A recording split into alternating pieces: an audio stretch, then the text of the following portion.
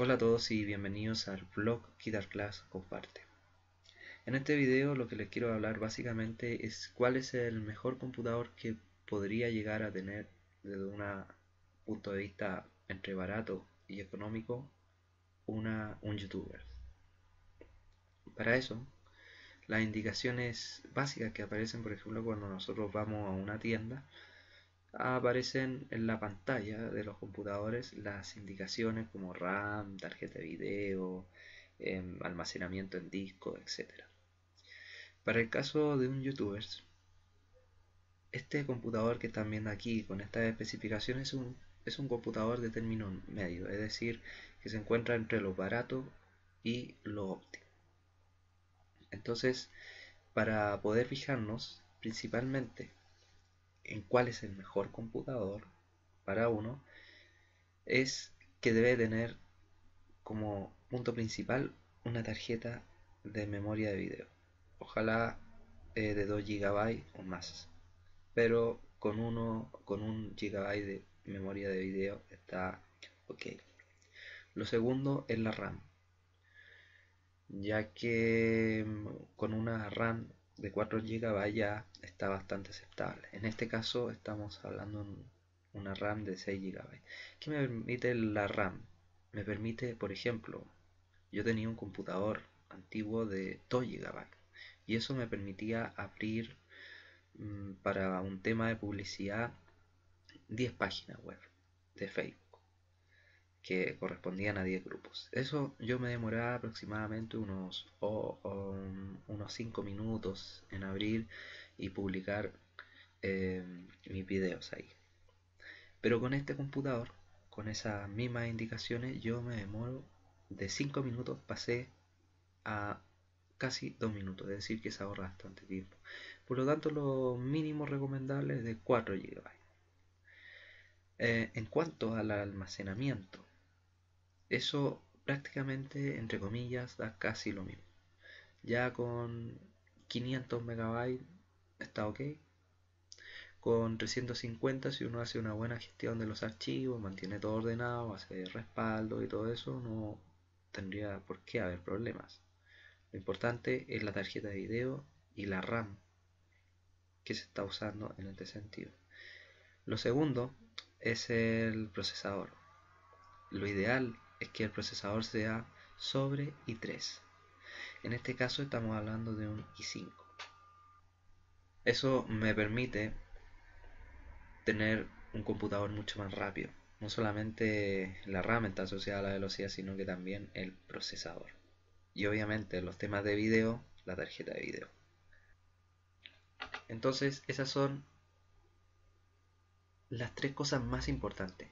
Que haya tarjeta de video, sobre un gigabyte, que haya un procesador sobre i3 y que haya una tarjeta de memoria RAM de 4 GB. Eso lo mínimo. Claro que un computador más antiguo, con menos capacidad, también puede andar bien, pero el trabajo se hace mucho más lento. El trabajo se hace mucho más rápido con un computador de esas características mínimas que le estoy indicando. Entonces, ¿qué es lo que les recomiendo para poder comprar un computador así? Número uno, no ir a Mercado Libre en el sentido de que si te dan boleta, ahí, ok. Pero si te lo va a vender una persona la cual no sepas si aquello te va a dar una cierta garantía de que va a estar funcionando todo bien, o que puedas tener derecho a reclamo, mejor abstenerse. Cuando uno, por ejemplo, va a esta tienda como Almacenes París, Falabella, Ripley, generalmente hay eh, ofertas, en el sentido de que, por ejemplo, em, hay computadores que pueden em, estar con un 30% de descuento, ya que generalmente son los que están en vitrina y son los últimos. Ahí hay que preguntar bien si hay algún computador de descuento. A veces son mismos computadores que entregan de nuevo a los clientes por X razón. Eso también los venden más baratos. Y ahí uno puede aprovechar esas opciones. Y lo bueno de, em, de estas empresas, por ejemplo, es que uno eh, puede tener más beneficios en cuanto a que la calidad va a ser aceptablemente buena y segundo que va a correr una cierta garantía en el producto. Y eso básicamente, hay que tener esas consideraciones no solamente cuando uno va eh, a ver eh, computadores. Ah, eso sí se, me olvidó mencionar algo.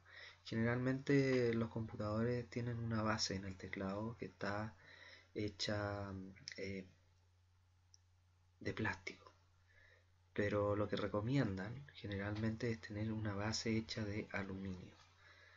Los computadores que tengan una base hecha de aluminio está bastante bien. Ahora, eh, si nos centramos de lleno, un netbook que es de 10 pulgadas, uno bueno puede valer 300 mil pesos. Ese computador mínimo de 14 pulgadas que le estoy diciendo, lo ideal es que sea un poco más de pulgadas para poder hacer un buen trabajo más eficiente, a haber un mayor, una mayor pantalla. Eh, es lo que les recomiendo, o sea, ese tipo de computadores que le estoy hablando, que tiene esa característica mínima y esa base de aluminio, por ejemplo, vi un Lenovo que salía 370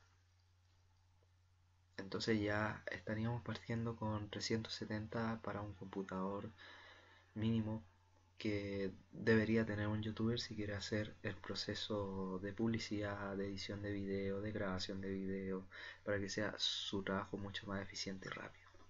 Obviamente un computador mucho más caro que tenga, hay que fijarse bien en las características, no es llegar y comprar un computador, ya que no todos los computadores caros traen una tarjeta video integrada, no todos los computadores caros eh, tienen siempre una memoria RAM alta, así que hay que tener todo eso en consideración. Y eso básicamente. Nos vemos en los siguientes videos. Hasta pronto.